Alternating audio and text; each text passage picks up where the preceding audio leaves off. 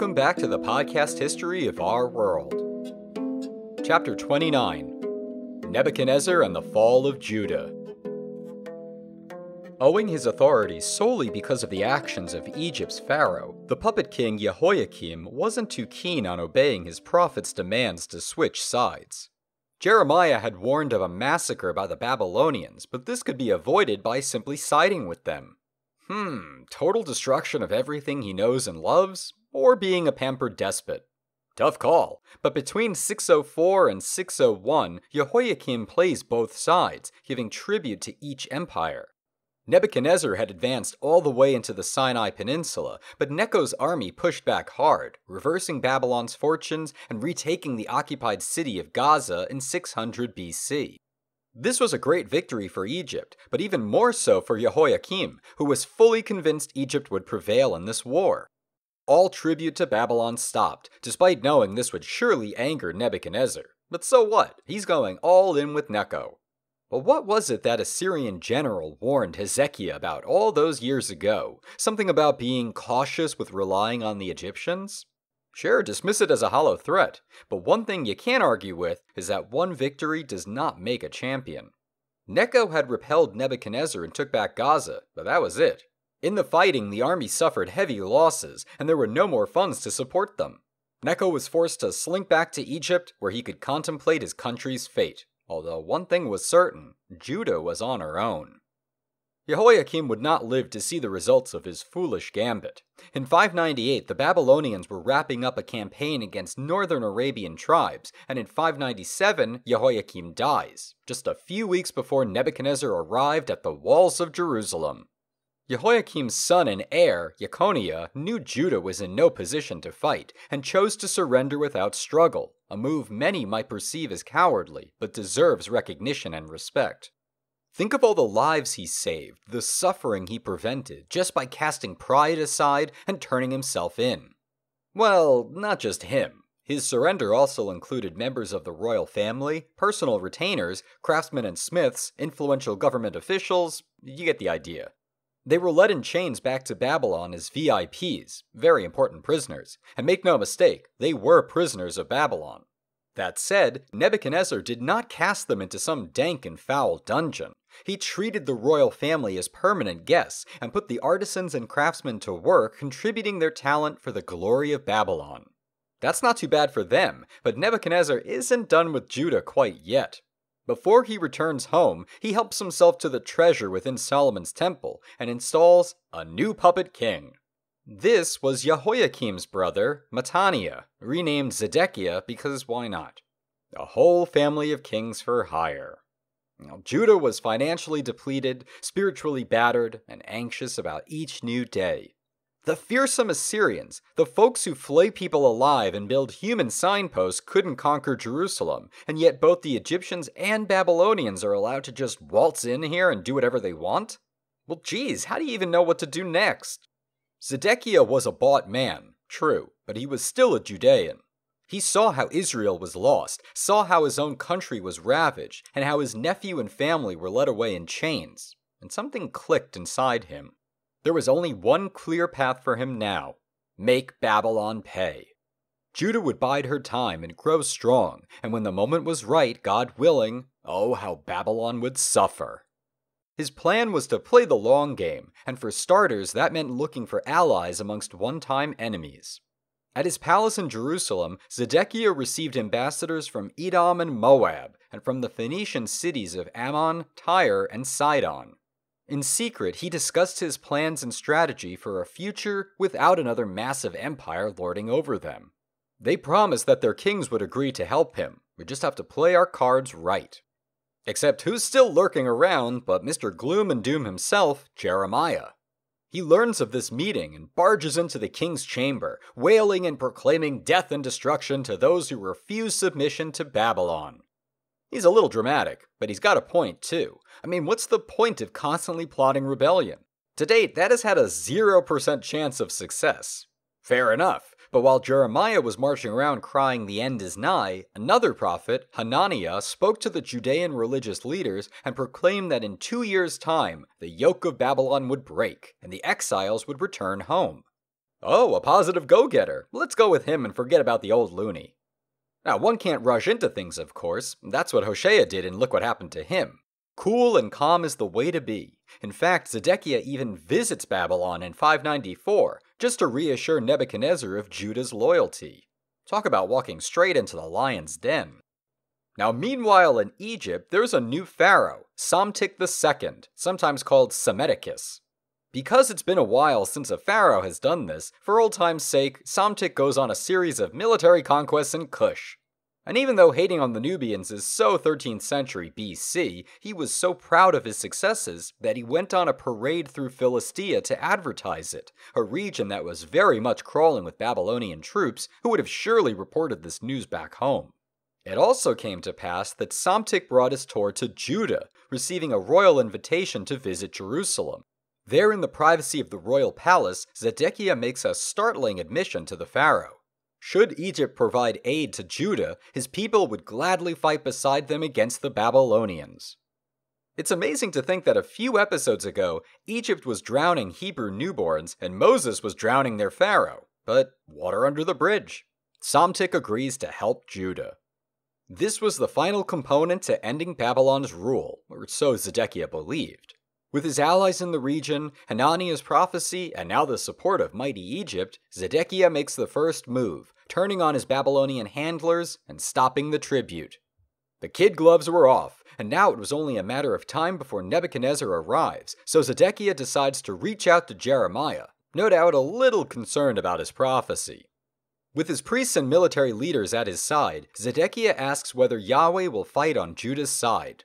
Jeremiah responds with, the Lord says, I will make your weapons useless against the Babylonians, and I will bring them right into the heart of this city. I will fight against you with outstretched hand and a mighty arm, with anger and rage and great wrath. And I will hand you, Zedekiah, king of Judah, over to Nebuchadnezzar, who will show you no mercy or pity or compassion. Everyone stood there in stunned silence for what must have seemed like forever, until one priest stood up and said what they were all thinking. Kill the lunatic! Zedekiah's supporters rushed Jeremiah, but were stopped from becoming murderers. Instead, the prophet is thrown in the stockades for a few days to simmer down, but even upon being released, he vows to continue warning the people of their impending doom. Now, in the year 588, Nebuchadnezzar was getting closer, and Psamtik II had unexpectedly died. Not something Zedekiah had planned on happening, and all eyes were on the new heir, Wahibre, or Apries, to see if he would honor his father's promises. Nebuchadnezzar had arrived in Canaan and was working his way through the rebellious cities of both Judah and some Samarian ones as well, before finally his army arrived back at Jerusalem and prepared for a siege. Zedekiah nervously kept watch from the tallest tower in the city, hoping that any one of his supposed allies would come to his aid, when in the distance? Yes, Apries had arrived. The Egyptians were here to rewrite the stories and save the Hebrews. Wouldn't that be something? Certainly, that's what would happen if this were the movies, but this is real life, and people can be fickle jerks. What we know here is that Apries was enough of a nuisance that Nebuchadnezzar needed to fall back and engage the Egyptians.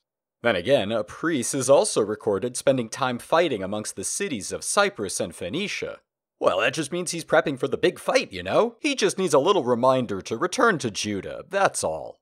Apries receives a panicked communique to come and defend Jerusalem, to which his response is no. Terrified and desperate for any help at all, Zedekiah turns to the only one who has been right all along Jeremiah. The prophet is pleaded with to sway Yahweh onto their side, but again the same response Judah is doomed. Mm, all right, Mr. Smart Guy, let's see how much you like being right when you're buried in the ground. Jeremiah is chained up and tossed into a water cistern, although a Nubian eunuch named Ebed Melech pleads for his release, which is granted for some reason.